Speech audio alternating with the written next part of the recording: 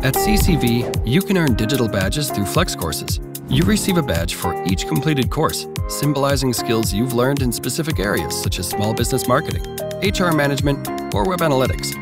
Take it to the next level by grouping a collection of badges in a specific subject to earn a digital credential.